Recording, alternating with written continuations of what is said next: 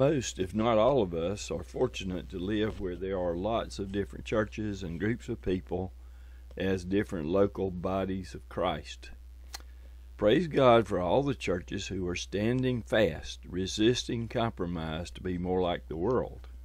It is a beautiful thing to see and realize how all followers of Christ, as led by the Holy Spirit, work together as He directs.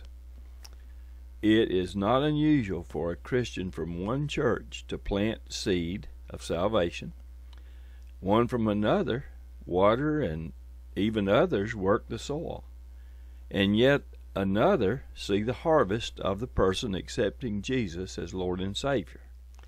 And just to top it off, the newly saved person perhaps joins yet another church. Can we rejoice at the victory that is the Lord's? Amen. Hallelujah. We are working together, even if we're not trying, because if we are being obedient to the leadership of the Holy Spirit, He puts our work together to raise up the name, lift up the name of Jesus Christ. I heard a sermon that I want to share with you by the person who preached it. Dr. Torey Blackman of the Fellowship Baptist Church of Carrabelle, Florida. In this sermon is the best description of the essence of what God put in my heart with the vision of L4J Living for Jesus Bible Study Ministry. You're going to be fired up for Jesus after listening to the message. I thought about some of the aims of L4J, such as to seek and to be used of the Holy Spirit to lead people to accept Jesus as their personal Lord and Savior. Another thing is to uh, know that often people expect others to come inside the walls of a church to find Jesus. Praise God, that does happen. My conviction was that in addition to that, it is important to get out among the people, love them, and share the love of Jesus with people outside the walls of a meeting place. When they receive Jesus to guide them to follow the Holy Spirit to unite with a Bible believing and practicing body of believers, a local church. An objective to promote Bible study in at least two ways are this to promote Christian growth in individuals that are in Jesus. Secondly, to pre- prepare fertile ground for the continuing work of the Holy Spirit in drawing the lost to Jesus Christ. Our first participants were not churched people, and most were distant from our Lord. Each one progressed at his or her own pace, some much more than others as it appeared. Professions of faith in Jesus Christ upon repentance resulted being forgiven, accepting Jesus as the Son of God, and being spiritually baptized into the body of Christ by the Holy Spirit. Those who were saved were encouraged to find a Bible believing church to present for church baptism. Encouraged them to tell people what was their experience. And normally this was not even necessary as the person is already sharing with everybody. Another thing is to realize that God brought others into the ministry who are very active in various local bodies of Christ. There were other Christian people who wanted to be involved in the ministry for the purpose of studying the Bible, but also in the purpose of spreading the gospel. They were drawn by an interest in studying the Bible, and many expressed an identity with taking the taking Jesus outside the walls as being something very important to them.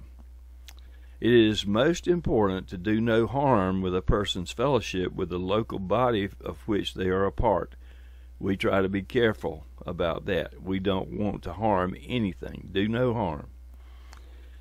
And then Bible studies are aimed toward Christian growth that enhances a person's positive impact on Christ inside and outside the church building and group.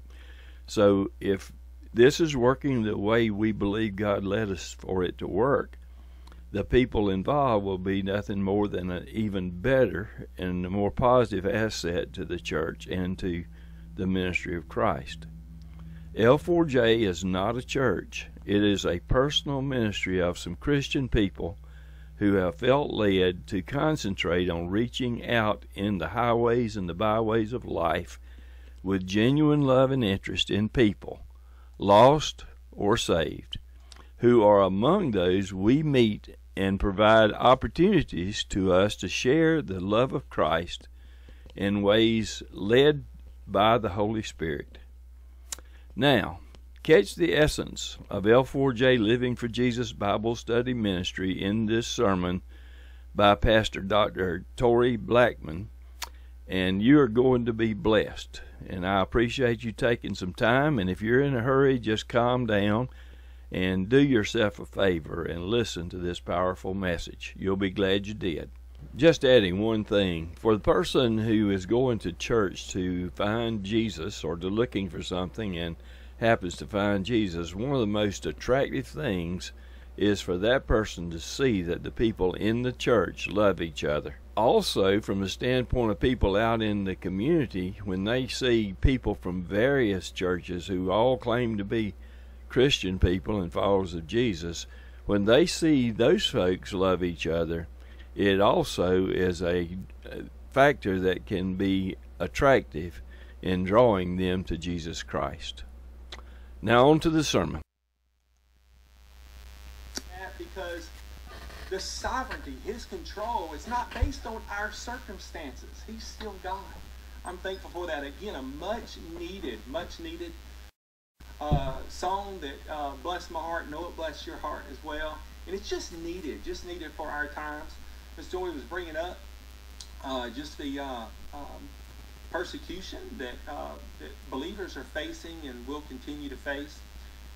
And these are things that we preached on weeks ago on a Sunday night concerning the um, uh, in the book of Revelation. And when we now month oh this is last year sometime we, we were going through the book of Daniel and we were in the portion in Daniel where it was prophetic chapter 7 and following. In church, uh, Joy mentioned uh, Pastor Jack Beer, North Valley Baptist in Santa Clara, California. They have a Bible college, and the church has been there since the 70s. And for decades now, decades, they've been uh, doing what this church has been doing, um, doing a work that contributes, contributes to society, contributes to the very area. And a week ago, they were handed a, uh, they were fined $5,000, and it was supposed to be $5,000 a day for having church. And uh, the pastor received that fine, and it was supposed to be every day, and then they met back on a Sunday evening service, just like we do, and they were fined an additional $5,000. My concern was, well, I told my wife, you know, they have a Bible college. Are they going to do that for that one as well. And so every day that they're open, they're fined five thousand dollars. And they're so they were fined on a Wednesday night service and certainly uh, running their Bible college, which they will do. This Bible college has been faithful for the training and teaching of preachers and teachers uh, across the globe. And again, contributing to society. They're not in a hot spot where they're at, but yet still they uh, deem that that's not essential for them to gather. I want to mention to you again, church, I mentioned this um, um, when we were in the book of Revelation. In Revelation chapter 5, or excuse me, chapter 7, verse 25, the Bible speaks of blasphemies that will be speaking against the Most High. All right? It also speaks of that they would wear out the saints. Wear out the saints. Now, and the saints can be wore out multiple ways. Be through rigor. Uh, more and more pastors and churches are closing their doors every year. And I come to think about that. Uh, you know, a church like us, if we were, if, if, I'm thankful we're not, but usually what starts out west works its way east. But if we were fined $5,000 financially, we couldn't handle that here. Um, so let's pray again just for our nation. And in that same verse, it talks about that they would change the laws, change the laws. And so these are things to look at. Uh, certainly, this is future. This is prophecy, and uh, these things aren't happening in, in foreign countries anymore. We looked at that uh, a couple, uh, two, three weeks, Sunday nights ago about the ten most dangerous countries to be in if you're a Christian, and we looked at that. I gave you that list. But let's continue to pray for this church uh, that they would uh, continue. Uh, this pastor here and the leadership would continue to fall under what the Lord wants them to do during this time. Okay, it's very, very critical and dire, and I'm thankful that we can gather, we can still meet here openly, uh, and there's no threat of persecution. Let's remember this, church. Uh, let's look at Luke chapter five this morning. Luke five in the Gospel of Luke. And um, we're going to um, begin reading in verse uh, verse 17, 17 and following. Uh, let's see, so we are on, we are recording.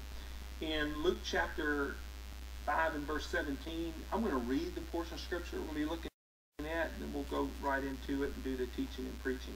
Scripture says in verse 17, It came to pass on a certain day as he was teaching that there were Pharisees and doctors of the law sitting by, which were come out of every town of Galilee and Judea and Jerusalem, and the power of the Lord was present to heal them.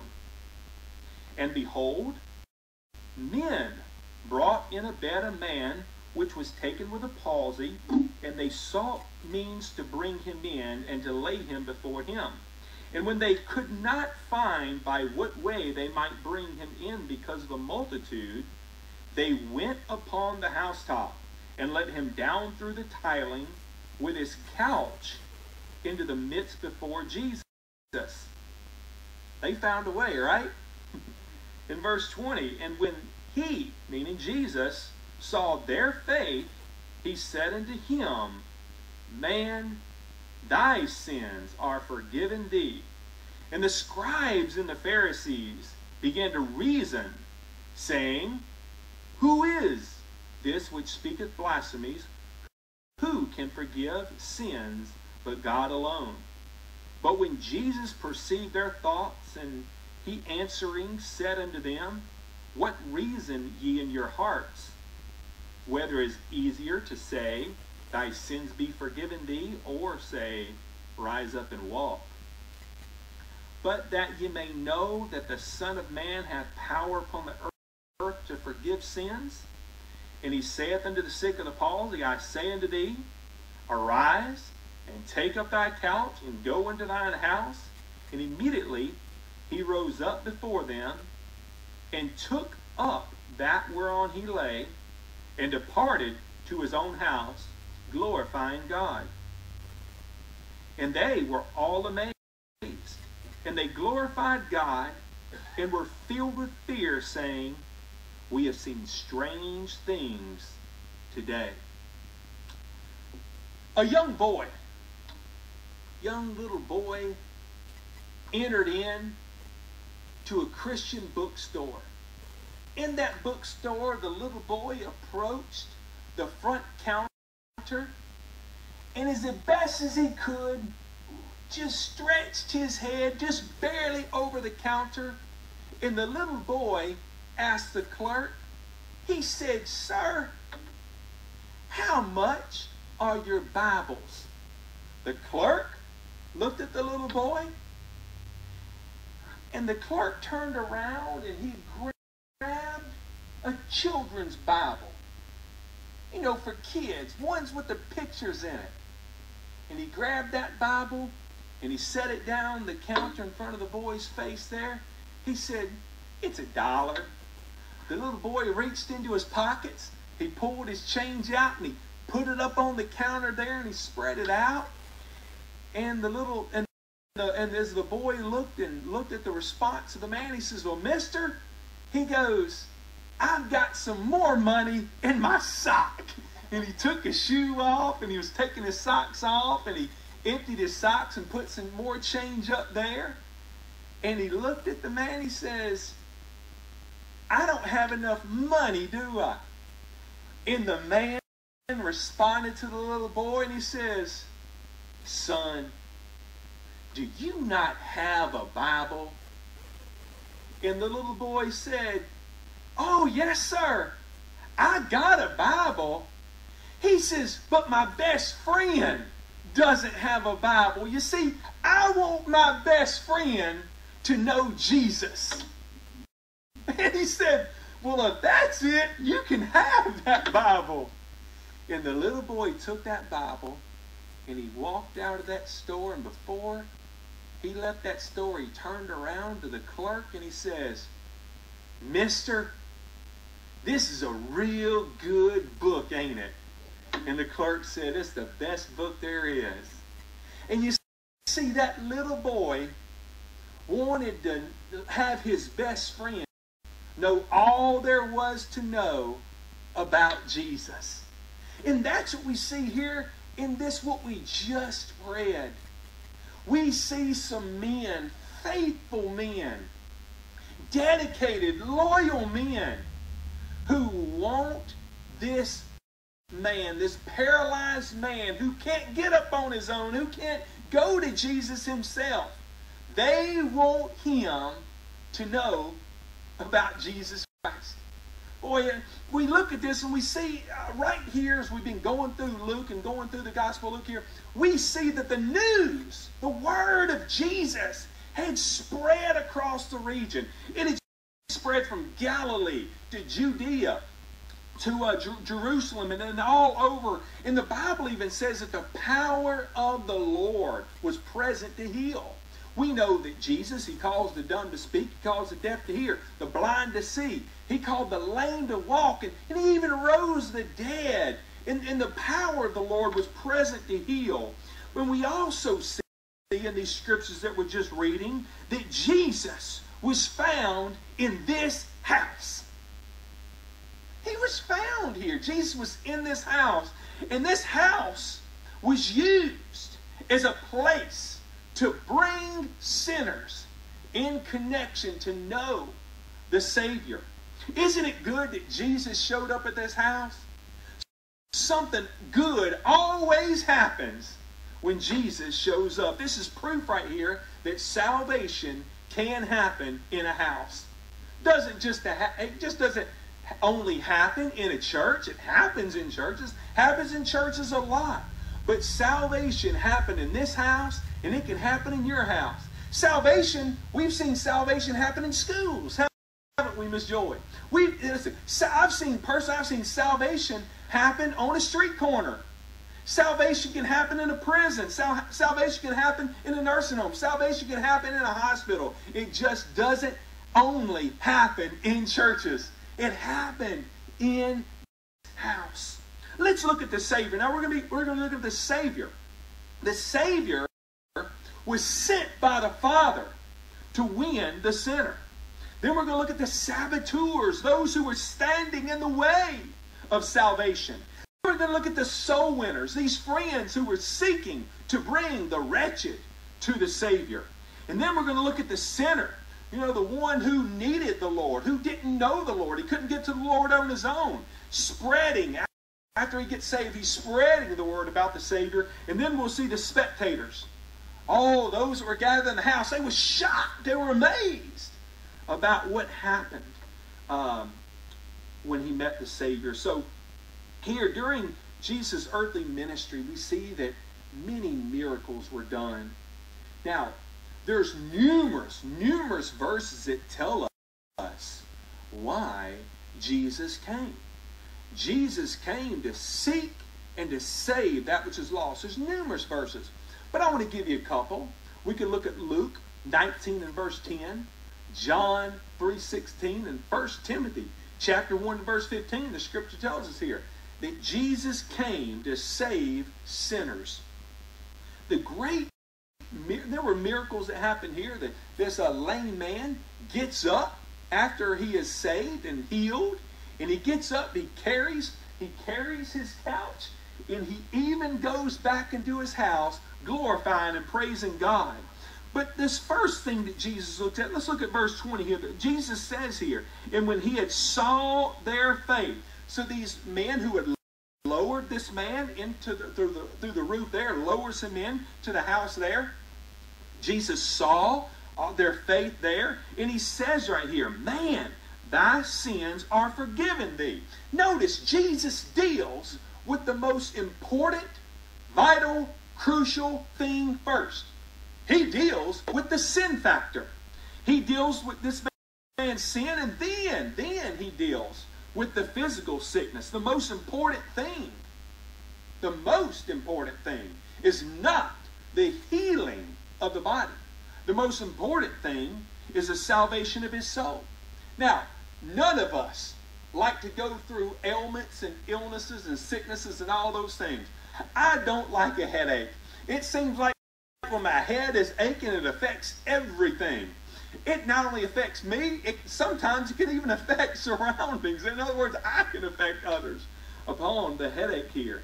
If they heal this man's body, again, it would have made him more comfortable. And in life, church, we all want to be comfortable, don't we? But without the healing of this man's sin soul here, he would have died and he would have faced a righteous God in judgment.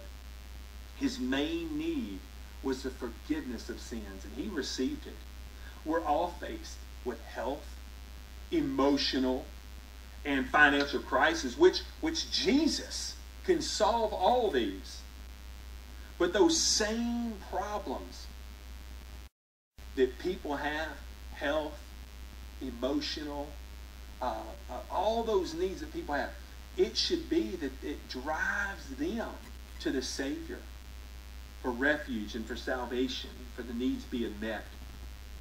We also see here that there were some who were causing problems. There were some who were standing in the way. Let's look at verse 19 and verses 21 and 23. The Bible says, and when they, this is the four, the, the men here, when they could not find by what way they might bring him in because of the what? the multitude. This is a packed house. It was standing room only.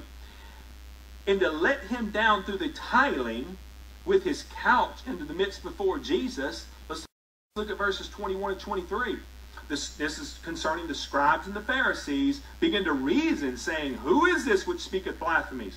Who can forgive sins but God alone?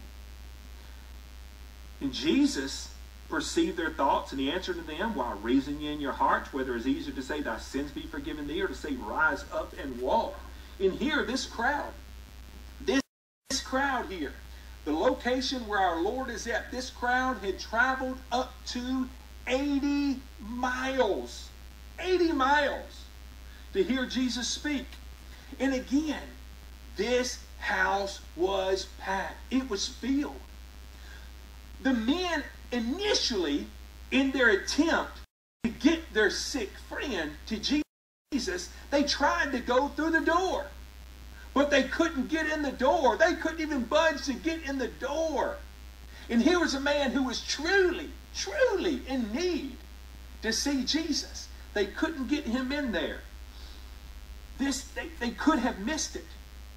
They could have missed it. Um, which tells me you know, if they would have given up, if they would have just given up and gone home, it tells me that there can be sometimes people can be in a church service and they didn't come to receive anything. They were just there to show up, which means that if they choose to stay that way, they can miss out on a blessing. And that's why in the, in, in the beginning when I told you Jesus is in a place and people are come ready to seek and to receive, they will be filled. These scribes and Pharisees begin to reason among themselves. In other words, they begin to ask, they begin to incite amongst one another here. And we see they're asking this question Well, who can forgive sins? Only God can forgive sins. And you know what? They're right. Only God can forgive sins. And the Pharisees, when the Lord said, told this man, Thy sins are forgiven, their little Pharisaical antennas popped up. And they began to question and they began to incite amongst other. And they wanted to bring up a ruckus, a riot amongst in this place, rather than allowing the Lord to have his perfect will and way in this service. These religious leaders thought in their warped theology, they thought that sin causes all illnesses. If a person's sick, well, what have they done wrong? What, what, is, what has happened here? But the issue of the challenge was this church the deity of Christ. Because, yes, only God can forgive sins, only God can heal. And the religious leaders are speaking of Christ, the Son of God, God in the flesh, is speaking of Him being a blasphemer. They did not understand, they did not see, they did not know Jesus like we know Jesus. Knowing that Jesus is the Son of God, God in flesh. Jesus came and died on the cross of Calvary more than 2,000 years ago. He shed his blood so that our sins could be forgiven. He died on the cross of Calvary. But three days later, he glorious and triumphantly rose again from the grave. The ones that were truly suffering in this house, yes, there were crowds there that were wanting to receive and learn from Christ, but there were also saboteurs who were standing in the way of what was done. The true people who were crippled were the scribes and the Pharisees, church. They were the true ones that were suffering. They were paralyzed with a critical spirit. They were paralyzed with a lack of love. They were paralyzed with unbelief. These Pharisees were spiritually crippled. They could have easily hindered this man's chance of getting to see Jesus. They were apathetic. They were indifferent. They were lethargic. They were lazy. This lets me know I don't ever want to get to the place in my life. And I don't ever want you to get to the place in your life where we ever take serving the Lord for granted, living for God for granted, getting to getting to bless people, getting to encourage people, getting to glorify God. We don't ever take that for granted. You know, where we're kind of just in church, where we're kind of just just you know just just barely in the service. Let's don't ever ever take that for granted. Here we see that these men here, let's look at verses 18, 19, and 20. We're seeing these men here. These men who are determined, these soul winners here. In verse 18, and when, behold, when men brought in a bed, which was taken with palsy, and they sought means to bring him in, to lay him before Jesus. They just wanted to get their friend to Jesus. Verses 19.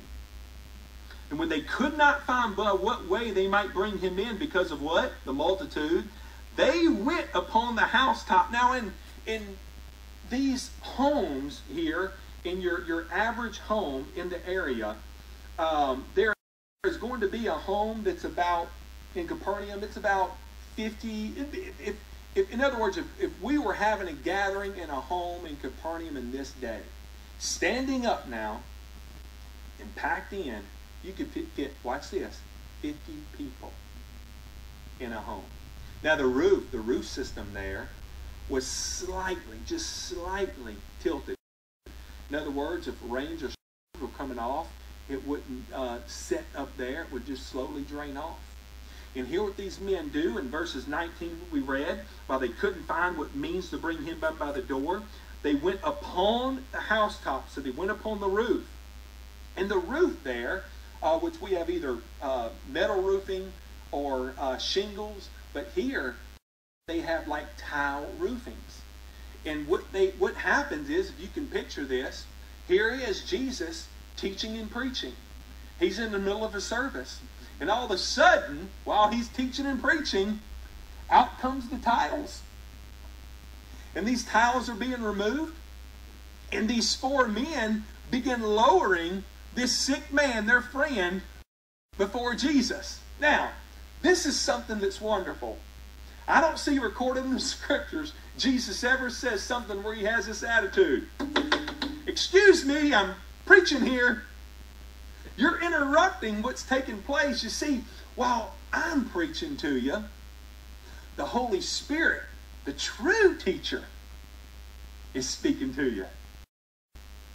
And some things that I'm showing you from what he showed me and, and, and through hours this week of studying this, there are some things that he is wanting to show you as well. So here they bring in this man here, and because they couldn't find another way uh, because of the, the multitude at the door. I'm so thankful that these men didn't give up. Uh, these, these, these men here, uh, we don't know their names. We don't know their ages.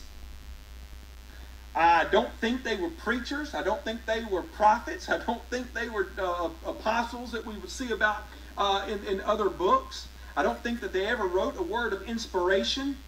But Christ saw their faith.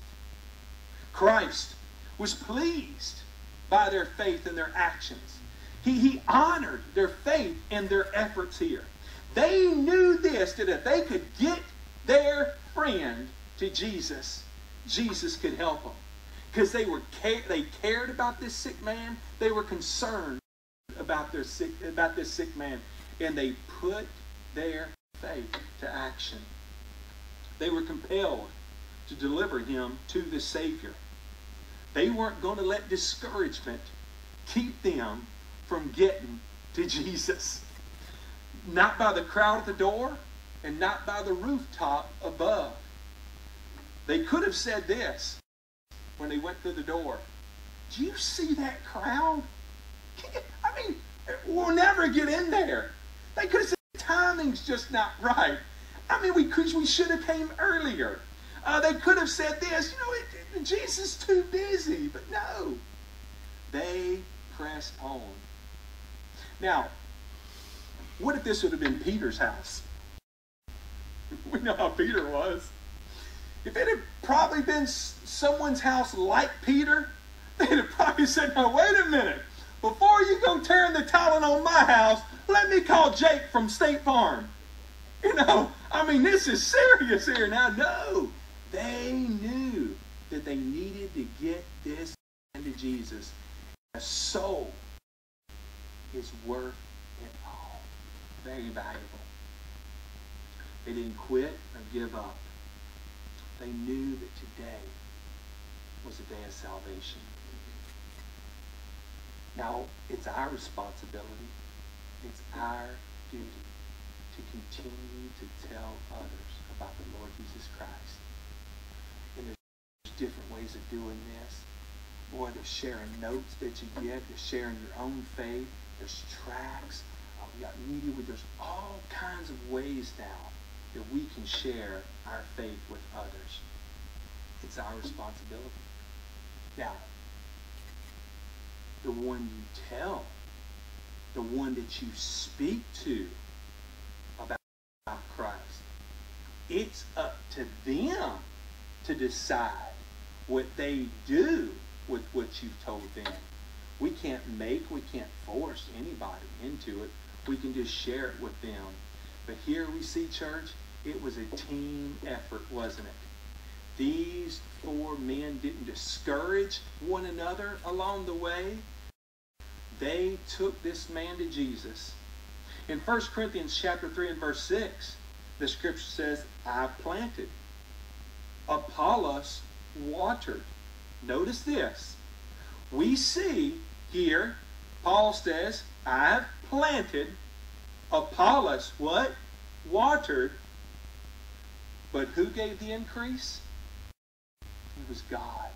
It was God that gave that increase. It's a team effort. And really, that's what it takes most of the time. You doing a part, some others will do another part, but God gives the increase. And that's the main thing is just getting the person to Jesus. And that's why I'm not, and I know you're not, we're not jealous about getting the credit. Let me say it this way. You may do something for a person. You might share your faith with them. Someone else might buy them groceries. Someone else might help them in another area of their life. And someone else may lead them, personally lead them to the Lord Jesus Christ. And you know what that person might do? They might join a church that didn't involve any of those other people.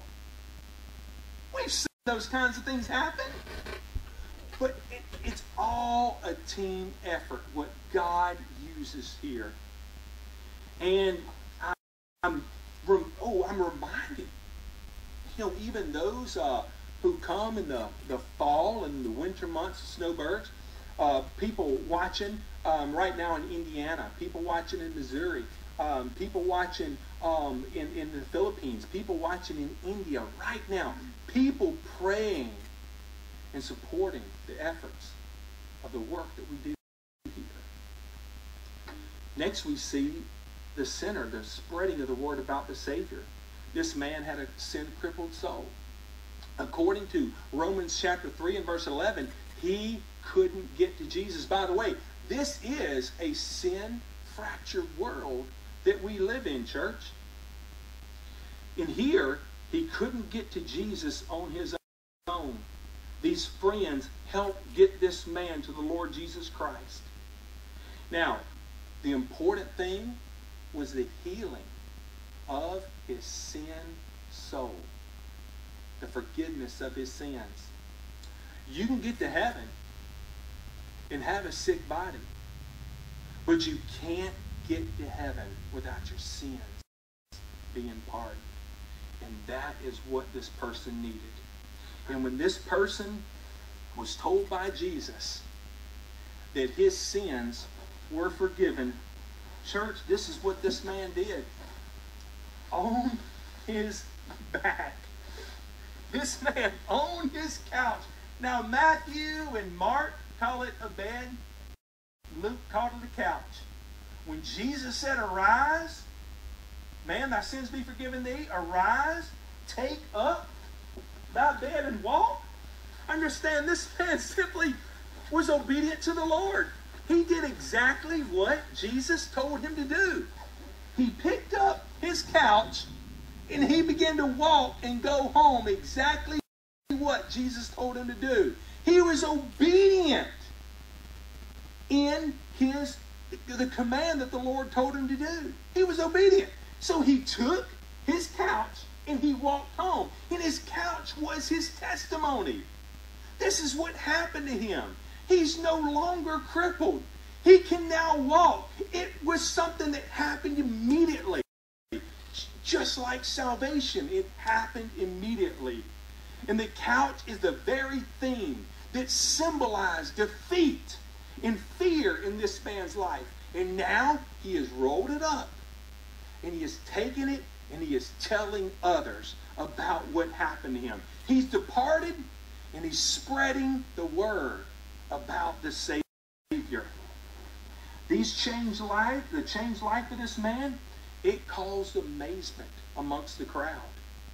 The fact that this paralyzed man did get up, pick up his couch, not only caused the crowd to marvel, but they gave glory to God.